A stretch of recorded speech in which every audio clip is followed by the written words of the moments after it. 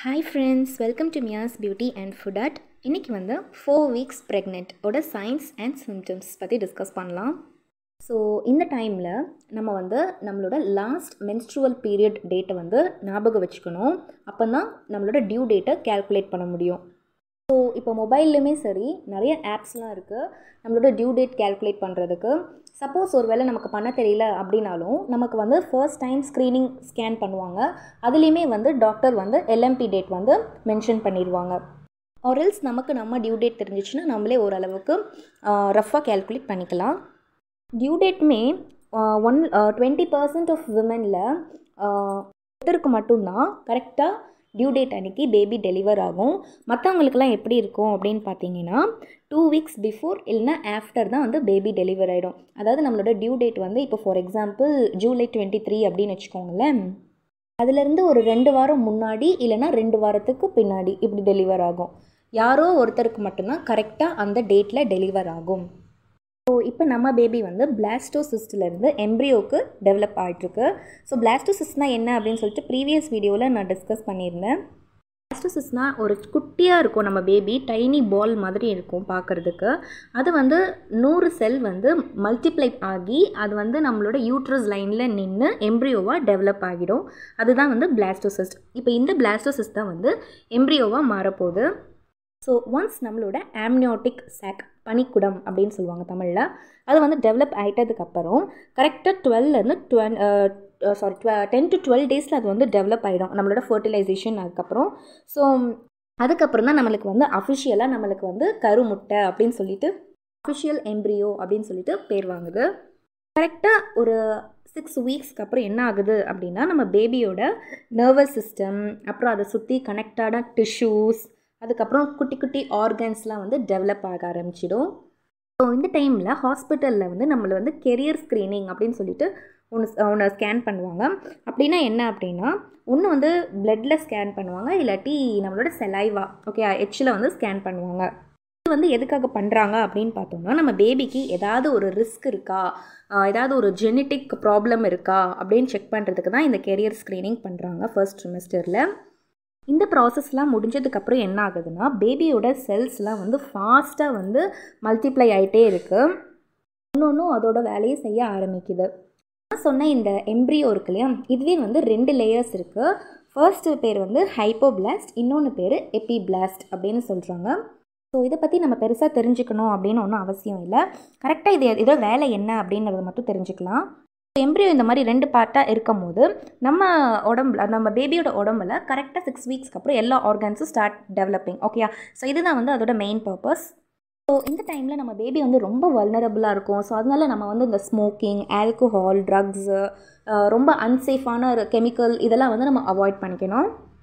அதே மாதிரி பார்த்திங்கன்னா ஓவர் ஹீட்டிங் ஓகேயா ஸோ ஓவர் ஹீட்டிங் அப்படின்னு சொல்லும் போது ஸ்கெனாஸ் இந்த ஹாட் டப்பில் இருந்தெல்லாம் குளிப்பாங்க பார்த்தீங்களா செலிப்ரிட்டி நம்மலாம் குளிப்போல் நமக்கு ஹீட் தேவைப்படுது அப்படின்னு சொல்லிட்டு குளிர்காலத்தில்.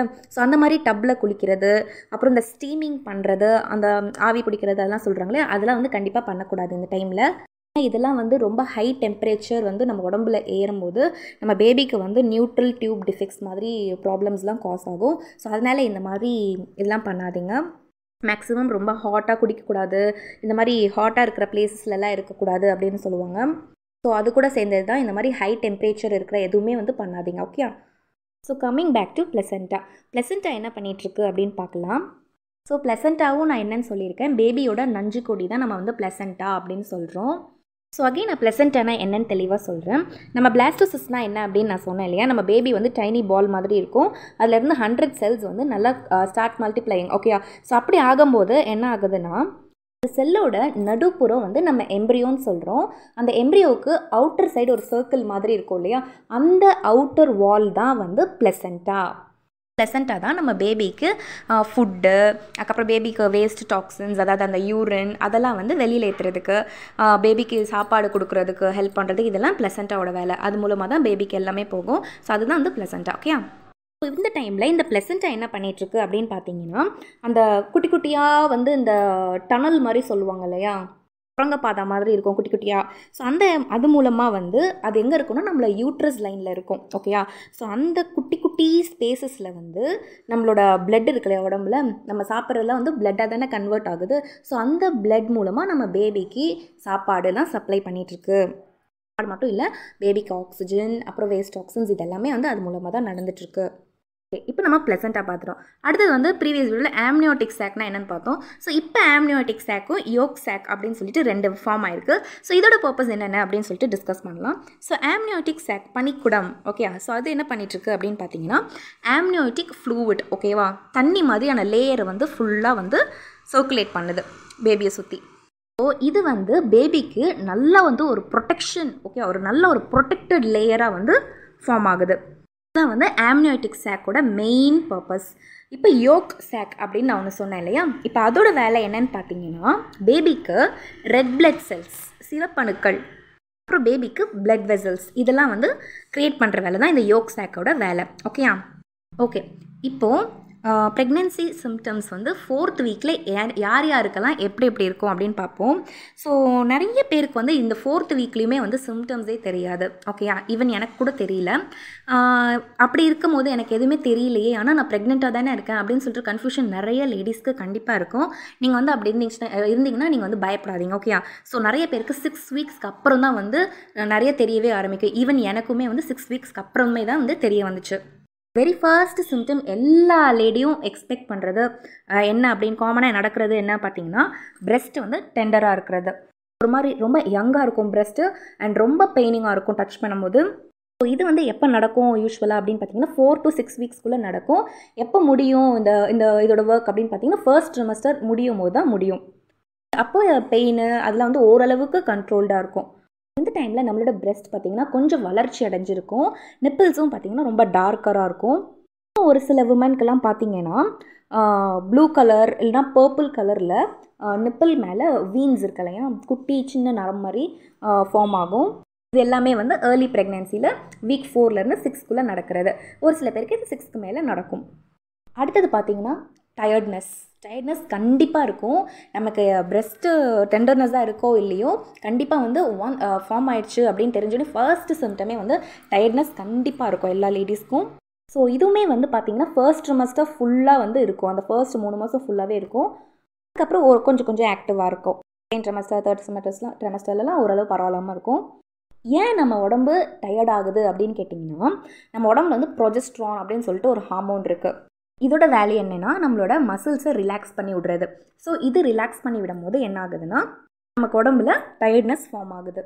So very last symptom fourth week ப்ரெக்னென்சியில் என்னென்னு பார்த்தீங்கன்னா நாசியா ஆர் வாமிட்டிங் எனக்கெல்லாம் பார்த்தீங்கன்னா எனக்கு வாமிட்டிங்கே கிடையாது.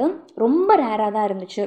இது இப்போவுமே ஒரு டூ டு த்ரீ டைம்ஸ் தான் நான் மேக்ஸிமம் எடுத்திருப்பேன். அதுவுமே வந்து ப்ரெக்னென்சி வாமிட்டே கிடையாது.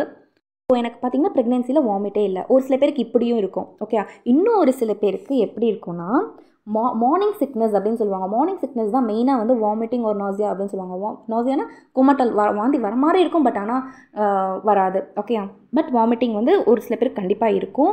செவன்த் மந்த் வரைக்கும் கண்டிப்பாக இருக்கும். இதுவுமே வந்து ஃபோர் டு சிக்ஸ் வீக்ஸில் வந்து ஸ்டார்ட் ஆகிடும் பட் இன்னும் ஒரு சில பேருக்கு வந்து ஃபர்ஸ்ட் சிம்டமே இது இதுவாக தான் இருக்கும். ஃபார் எக்ஸாம்பிள் படத்துலலாம் காட்டுவாங்கல்ல ஸோ அதை வச்சு தானே கன்ஃபார்ம் பண்ணுவாங்க ஸோ அந்த மாதிரி எடுத்துக்கோங்க. So eighty percent of women வந்து கண்டிப்பாக வந்து நோசியாக வந்து எக்ஸ்பீரியன்ஸ் பண்ணுவாங்க ப்ரெக்னென்சியில் அதில் பாதி விமன் வந்து ரெண்டுத்துலேயும் சஃபர் பண்ணுவாங்க. வாந்திலையும் கிடப்பாங்க கொமட்டல்லையும் கிடப்பாங்க. ஸோ என்ன மாதிரி லக்கியாக இருக்கிறவங்க ஒரு சில பேர் இருப்பீங்கன்னு நினைக்கிறேன். எனக்குலாம் சுத்தமாக வாமிட் எதுவுமே கிடையாது. பிரெஸ்ட் டெண்டர்னஸும் வெறும் டயர்ட்னஸ் மட்டும்தான் எனக்கு இருந்துச்சு. ஸோ ஏர்லி ப்ரெக்னென்சியில் ஒரு சில பேருக்கு ஹெட்டேக் இருக்கும். ஸோ எனக்கும் ஹெட்டேக் இருந்துச்சு. ஸோ இதெல்லாம் தான் காமன் ப்ரெக்னென்சி சிம்டம்ஸ் நடக்கும். ஃபோர்த் வீக்கில் ஓகே ஸோ மேக்ஸிமம் வேறு எதுவும் இருக்காது. இந்த மாதிரி குட்டி குட்டி சேஞ்சஸ் அண்ட் டெவலப்மெண்ட் தான் வந்து நம்மளுக்கும் பேபிக்கும் இடப்பட்ட கேப்பில் ஃபோர்த் வீக்கில் uh, நடந்துகிட்ருக்கோம் ஓகேயா ஸோ எல்லோரும் கரெக்டாக வந்து ஸ்கேனுக்கெலாம் கரெக்டாக போயிருங்க. டேப்லெட்ஸ்லாம் கரெக்டாக சாப்பிடுங்க. நல்ல ஹெல்த்தியாக சாப்பிடுங்க. ரொம்ப ஹாப்பியாக இருங்க. நல்ல சந்தோஷமாக சரிங்க மனசார. ஸ்ட்ரெஸ் ஆர் டிசப்பாயின்மெண்ட் கண்டிப்பாக ஆகவே ஆகாதீங்க.